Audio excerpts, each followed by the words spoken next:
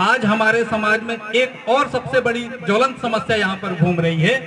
अभी सम्मानीय हमारे अतिथि यहाँ पर बात कर रहे थे कि सन 2021 में जनगणना होने वाला है।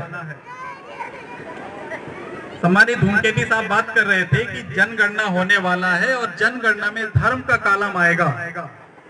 और धर्म के कालम में हमें क्या लिखना है? खाली स्थान तो रहेगा नहीं।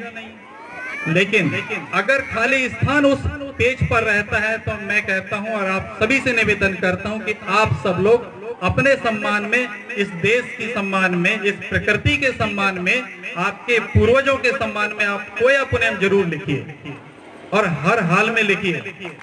और यदि ये कालम नहीं होता है लिखने का तो उसमें अदर का ऑप्शन है, अन्य भी लिखा हुआ है, आप अन्य लिखिए।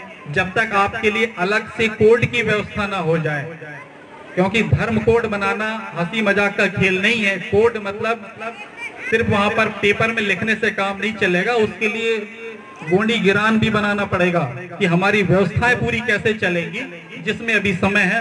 कुछ हमारे अच्छे चिंतन करने वाले लोग इस दिशा में काम कर रहे हैं और भविष्य में एक ऐसा भी होगा कि गोंडी गिरान भी हमारे बीच में होगी, धर्म कोड के रूप में कोया पुनेम भी होगा और उसी के तहत माननीय न्यायालय में भी निर्णय देंगे। हमारे